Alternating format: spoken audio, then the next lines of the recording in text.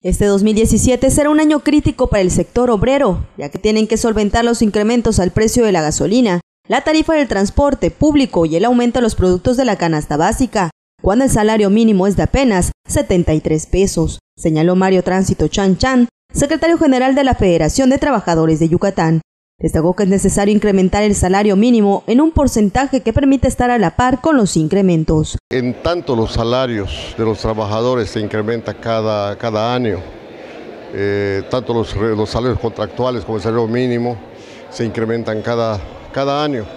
Vemos lamentablemente que este, los artículos de servicio, de, artículos de primera necesidad, eh, constantemente van en aumento.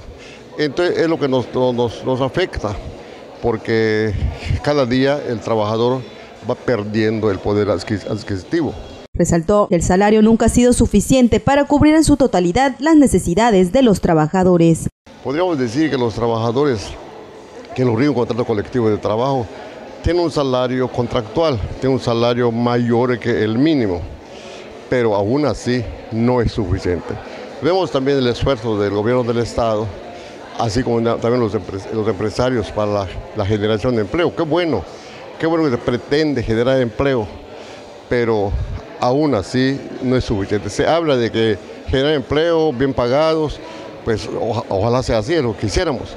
Indicó que las autoridades deberían controlar el incremento de los productos de la canasta básica, que son de primera necesidad para el trabajador. Lo poquito que se incrementa, en unos pocos días se pierde.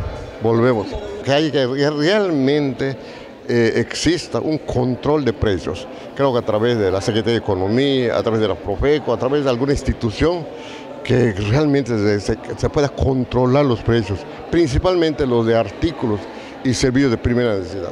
Con imágenes de Antonio Ordóñez y Georgina Bacelis, Notivisión.